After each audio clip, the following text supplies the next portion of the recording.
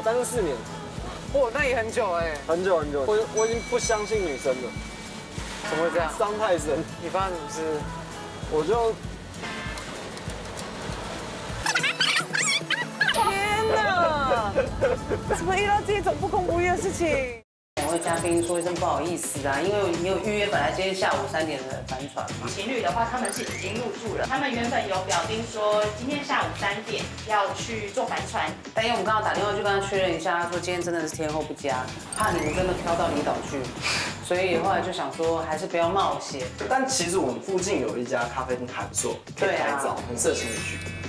你们很常来垦丁吗？还好哎，虽然虽然很近，但还是很少来。哎，你们是哪里人？高雄高雄人，那你们两个怎么认识的？这个说来话长，被迫认识，是哪里认识？被迫认识。被被迫认识？为什么？有人拿刀逼着你们，为什么被迫认识？就是有人一直很想要，就是很想让我们认识。你单身最久是什么时候？我单身四年，哇，那也很久哎。很久很久很久。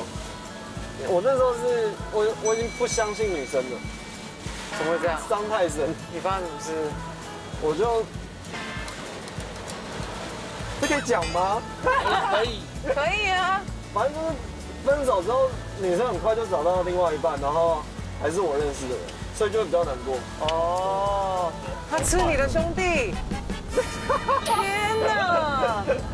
怎么遇到这种不公不义的事情？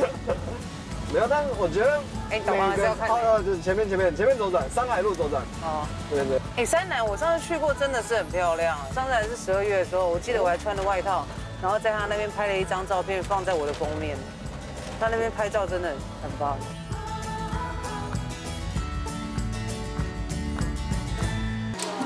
小姐，我帮客人已经点好了，点好了，嗯，他们已经在上。你们点了什么饮料？蜂蜜柠檬、气泡饮。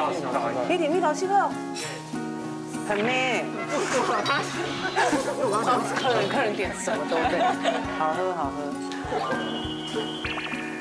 你看甜蜜互动啊，来来来，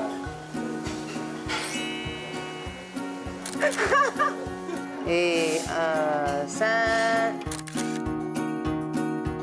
我壁咚他，好壁咚他是不是壁？咚他，对。然后你要感觉，你知道感觉害羞，第一次遇到啊，对对对。